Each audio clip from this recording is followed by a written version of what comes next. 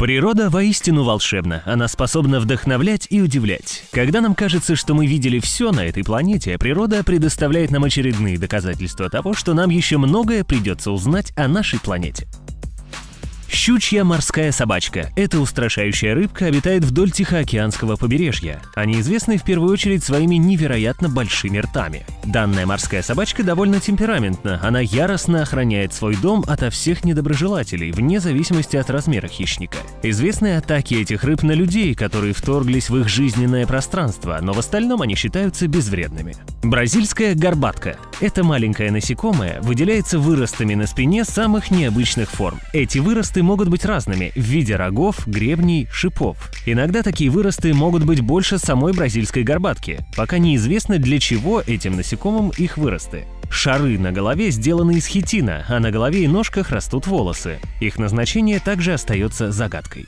Несмотря на то, что плавает рыба ходун, мягко говоря, не очень хорошо, она умеет очень быстро бегать по морскому дну. По мнению биологов, данная рыба плавала исключительно по морскому дну, где могла быстро найти себе укрытие и пищу. В результате эволюции у нее появилась пара плавников конечностей, которые очень похожи на руки. С их помощью она способна быстро передвигаться по дну. Впервые эту рыбу обнаружили у берегов Австралии. В 1990-х годах лишь два вида этих рыб было задокументировано.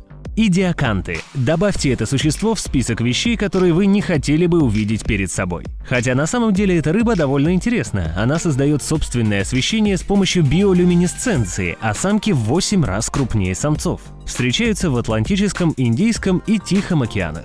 Тихоходки. Первый раз данное животное описали еще в 1773 году. Гетце описал тихоходку как Кляйнер Вассербер – маленький водяной медведь. Позже, в 1777 году, Ладзаро Спаланцани, ученый из Италии, назвал это существо Иль Тардиградо, что переводится как «тихоходки». Стоит отметить, что тихоходки могут выжить без еды и воды около 10 лет. Они живут глубоко под водой, где невероятно высокое давление. Кроме этого, они могут выдерживать дозу радиации в 10 раз превышающую смертельную дозу для человека.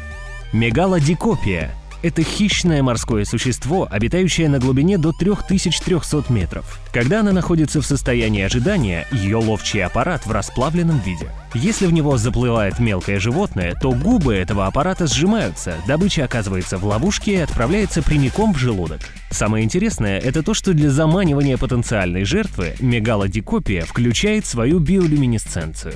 Морской слон – это животное названо так благодаря его хоботообразному носу, который присутствует у самцов и большому размеру. Морской слон – отличный пловец, но на суше, чтобы куда-то добраться, ему приходится с трудом ползать на своем животе. Также обратите внимание, насколько человеческие у них глаза. Есть два очень похожих вида морских слонов – северный морской слон, которого можно обнаружить на западном побережье Северной Америки, и южный морской слон, являющийся обитателем Антарктиды.